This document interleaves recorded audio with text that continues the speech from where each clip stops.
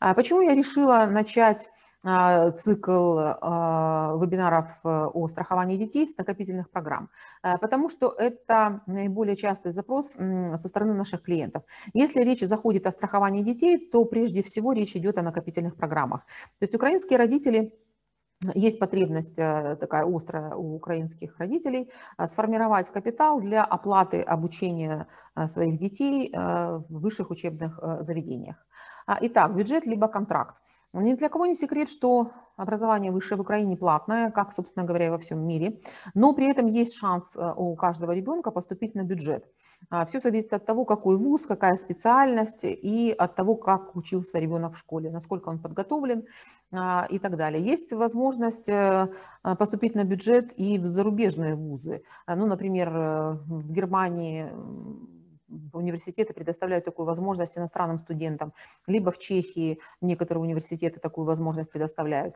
Но э, даже если ребенок поступил на бюджет э, в зарубежный вуз, то а, необходимо иметь деньги а, для того, чтобы оплачивать проживание, питание, услуги библиотеки университетской, ну и масса других есть затрат у студентов, живущих за границей.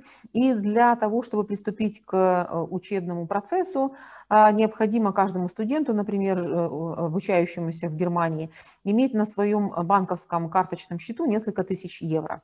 Иначе этот студент не будет э, допущен к Э, обучению. А, таким образом, а, совершенно очевидно, что к тому моменту, когда ребенок заканчивает школу, а, и вы планируете э, дать ему, предоставить э, образование хорошее, ну, любое высшее образование, нужно быть к этому готовым. Нужны реальные живые деньги для оплаты обучения. И совершенно очевидно, если вы начнете это делать как можно раньше, пока ваш ребенок еще маленький, а, у вас есть время, запас времени, и в течение там, 15, например, 16 либо 17 лет э, можно а, без напряжения, небольшими суммами, маленькими шажками а, сформировать этот капитал. А, какая средняя стоимость обучения в украинских вузах? Я готова, э, для того, чтобы сформировать накопительную программу в MedLife, важно понимать, сколько необходимо денег а, вам а, для того, чтобы оплатить, чтобы быть подготовленным э, к этому моменту. Я сегодня буду говорить только об образовании высшем в украинских вузах. Я готова с вами поделиться своим опытом. Дело в том, что у меня есть сын, а, его зовут Иван, ему 21 год, и он является студентом Киево-Могилянской академии. Он учится на факультете политологии, и я а, попросила его, чтобы он узнал, сколько стоит обучение а, на сегодняшний день в Могилянке. От 25 до 60 тысяч гривен в год стоит обучение на разных факультетах Киево-Могилянской академии. Примерно столько же стоит обучение в университете Шевченко Киевском, например, в Львовской политехнике, в КПИ и в других вузах Украины. От тысячи до двух тысяч долларов. А чем престижнее университет, чем престижнее факультет и специальность, тем дороже стоит обучение. По сравнению с европейским образованием, обучение, а, образование в Украине не такое дорогое, но и уровень жизни в Украине не такой, как в Германии, э, в Канаде, либо в Соединенных Штатах Америки. А, таким образом, для, а, на момент окончания школы, на момент поступления в ВУЗ родителям необходимо иметь от 100 тысяч гривен до 250 тысяч гривен а, для того, чтобы не, не волноваться, не переживать. Конечно, можно рассчитывать на то, что ребенок а, а, может поступить на бюджет, если ребенок хорошо учится, но иногда обстоятельства непреодолимой силы могут помешать э, вашим э, желаниям. Например, мой ребенок учился хорошо в школе, он э, имел хорошие результаты по ЗНО, но не поступил на бюджет, хотя у него были все шансы. А, дело в том, что 4 года назад многие престижные вузы а, сократили количество бюджетных мест до минимума. Например, на нашем факультете 5 лет назад было 25 бюджетных мест, и мой э, ребенок имел э, большие шансы попасть, э, эм, поступить на бюджет. А 4 года назад, когда мой ребенок поступал, бюджетных мест было всего 4 на нашем факультете, из них 2 льготных. А, и таким образом а, мы подписали контракт, хотя была возможность поступить в другие вузы на бюджет и на юрфак, например, в нархоз. Из нархоза нам звонили, еще из каких-то университетов, но ребенок мой хотел учиться в Могилянке, он к этому готовился. А, и э, мы с мужем, естественно, приняли решение, что наш ребенок будет учиться там, где он хочет учиться, где ему нравится учиться, а, иначе для него это был бы стресс. А, так вот, еще есть обстоятельства, которые иногда родителям мешают э, принять решение в пользу формирования вот этого капитала, да, накопительные программы. Часто это связано с тем, что э, люди занимаются бизнесом, предпринимательством, и они уверены в том, что их бизнес будет приносить им всегда э, стабильный доход, какой они имели все предыдущие годы. Но последний год э, всем землянам продемонстрировал, что такое обстоятельства непреодолимой силы.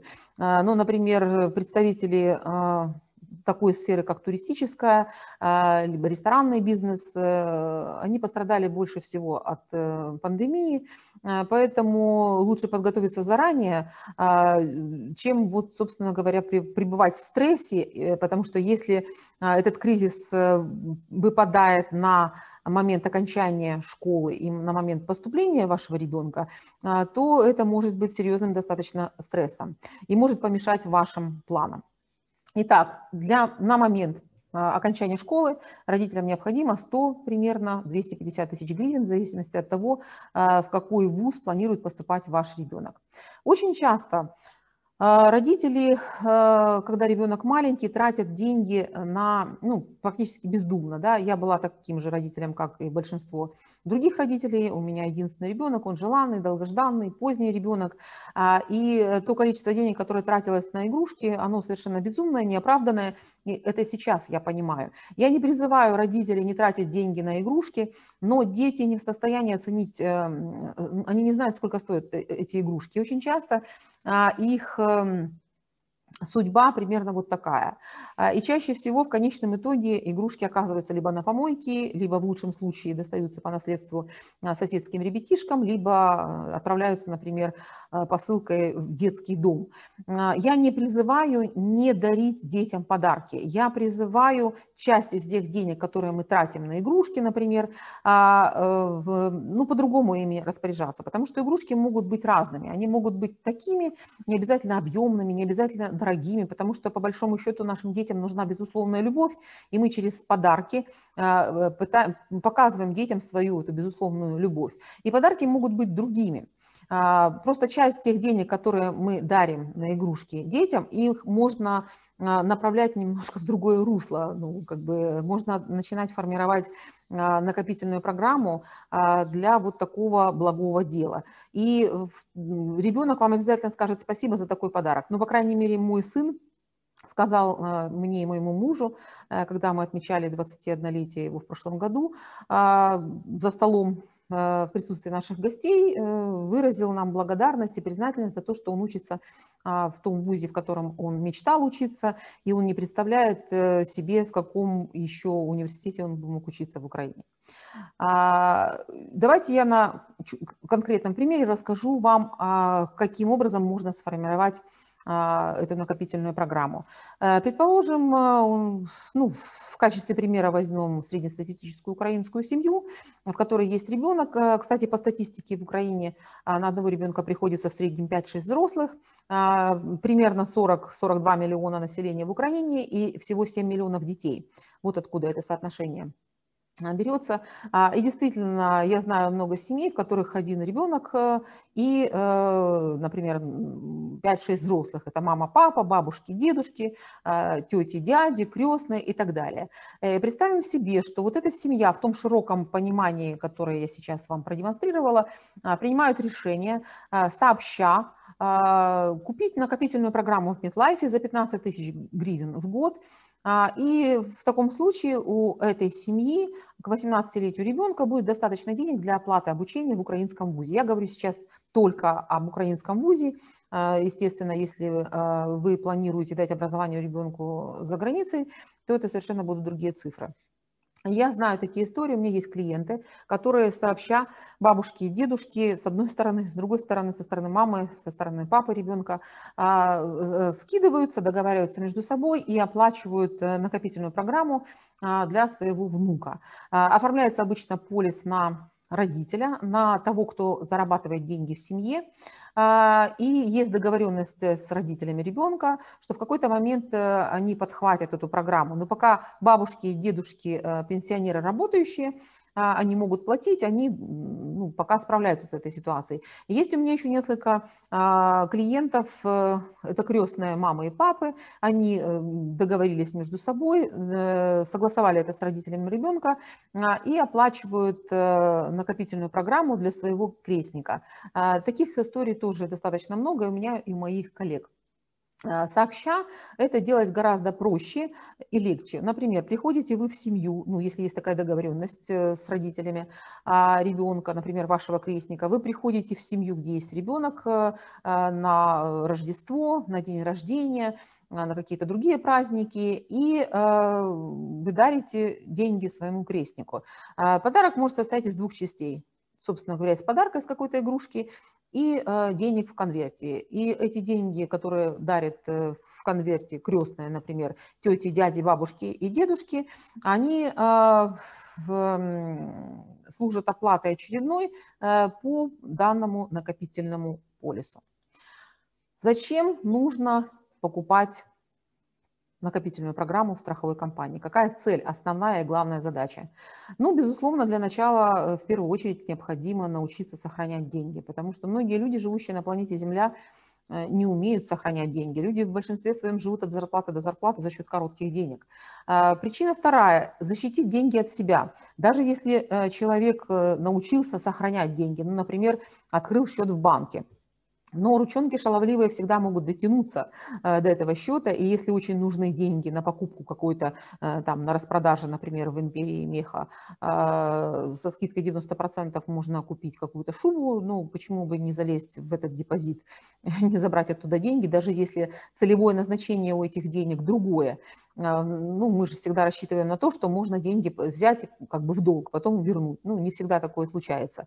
А, либо какая-то путевка горящая на Мадагаскар, например, да, по какой-то смешной цене, а, и такое бывает раз в жизни, ну, почему бы не взять эти деньги? Поэтому защитить деньги от себя – это тоже очень важно.